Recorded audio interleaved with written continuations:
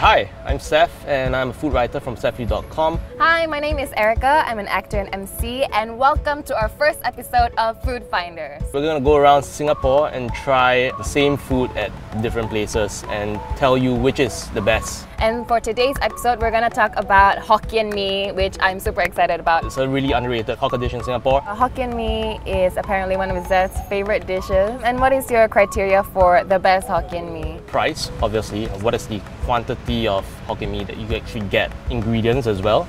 Like how many prawns you actually get from your Hokkien Mee. The type of noodles as well. The stock wok hei as well. The fried charred uh, flavor that you get from, from the wok itself.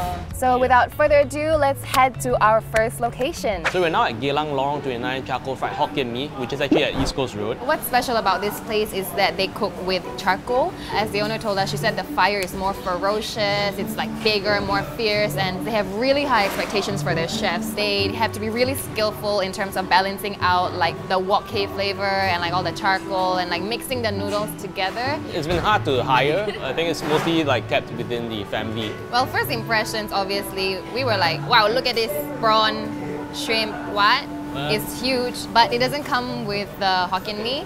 We actually asked for the $6 one, and then th- this additional prawn you can add on. Seasonal Yeah. price, but according to them, they said this was like $45 usually. But Seth doesn't believe that. How can this huge ass prawn be like NTUC? This itself would be like $6 probably. Drive yourself. I mean, if you come back and you buy this for like four $4, well, shit, it's a good deal. But apart from that, everything else is still the same except for the prawn. All the noodles and like the sotong, yeah, it's all the same. Just look at the girth of this. It's a lot darker in color. Yeah, darker for sure because of the charcoal and like more wok hei, which you like. Clearly, Seth cannot wait. I think I added too much lime in one corner. I mean, let's try another corner. Not really yummy.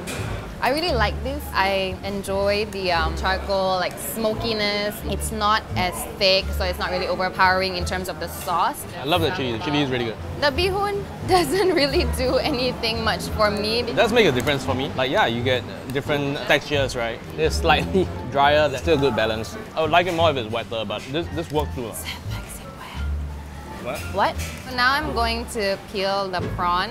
Don't waste the prawn here, I'm gonna eat the prawn here. It's like the best part. Okay, honestly, I've never had prawn this big before in my life. Really Is it springy. overcooked? Or like no, it's fine? not. Let me just grab right. I had to peel it for him. I would give it like a 5 upon 5. The portion plus the prawn, it's definitely value for money for me.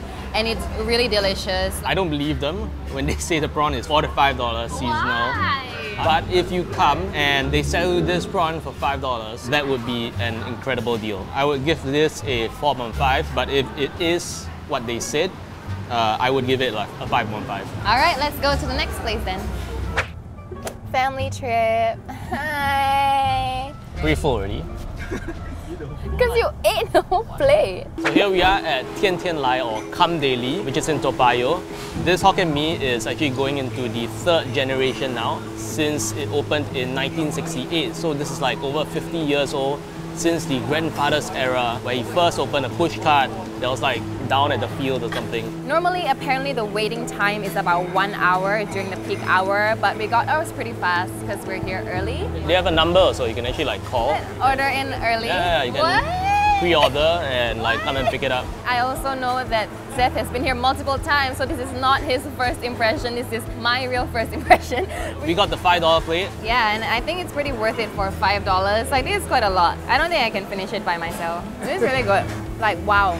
I like how it's really thick and saucy and gooey. This is like a wetter version of Hokkien Mee. Like typically I like the wetter types, so there's a lot more broth. I like this kind of consistency. The stock itself is really flavorful. These guys wake up at 4 a.m. every day to cook the prawn and pork bone stock. Wow. So it's, it's really hard work. I also found out that they make their own sambal. Pretty mild. I think it complements. Yeah, but it complements the dish. too Yeah. spicy as well. Yeah, I thought about pork lard. The pork lard is damn good. Just full of porky flavor. I can't wait. Let me think of another word. You get that burst of oiliness. It makes a huge difference, like fried fresh daily. I think in terms of wok there's like a little bit, but it's like very, very subtle. Upon five stars, I would give this dish like a hmm, this is really hard. Like four, I've been here multiple times. It's pretty consistent. I give like 5 on 5. I, I really like this store. So this has been really good, but I think we're ready to move on to the next one. Okay, so we're at ABC Market here at Tiong Bahru.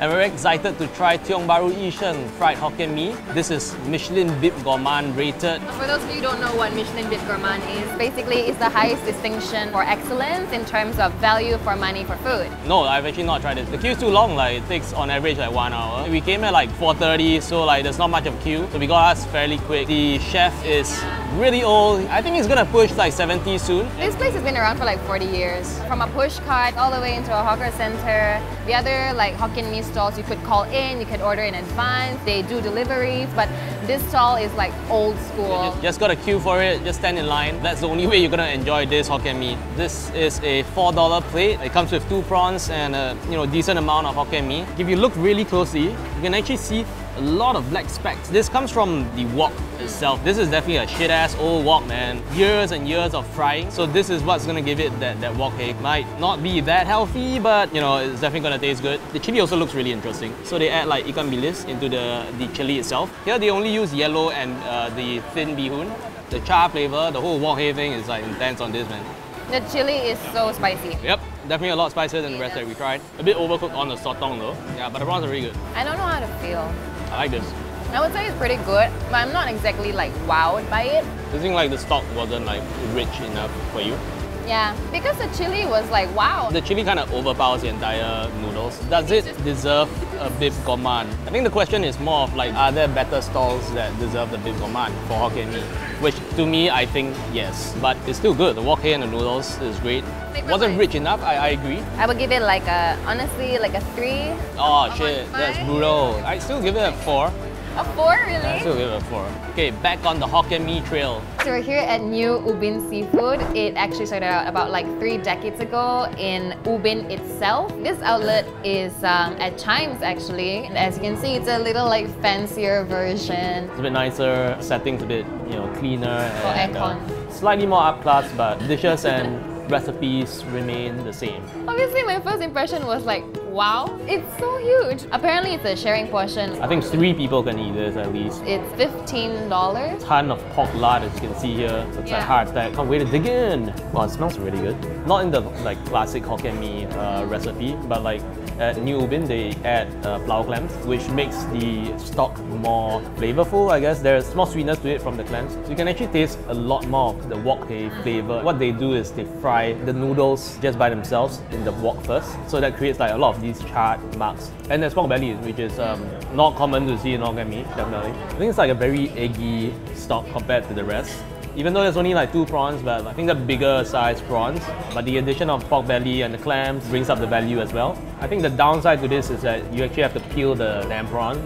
People will probably think like, whoa, $15, that is crazy for Hokkien Mee. But because of the amount, like look at this, so much pork lard, it has pork belly and the stock has clam in it. Definitely worth 15, especially it's a sharing portion. But in terms of atmosphere, I I feel a little stressed. Too fancy to have Hokkien. Mee. Personally, I prefer going to hawker centers.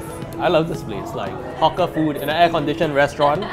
I would rate it uh, 3.5 upon 5. So you rated it down because we're in an aircon place? Why? Flavor wise also, I'm not like a huge fan. Like I wasn't like wowing over it. Like when I first tasted it, I was like, oh, I still give it four. I like having hawker food in in aircon. it's like the best of both worlds. I think that's pretty much it for this place. You ready to go to the next one? Yep. So we're here at Tiong Bahru Market where we're here to try the Hong Heng fried sotong Say that prawn. again. And we're gonna try the Hong Heng fried sotong prawn mee.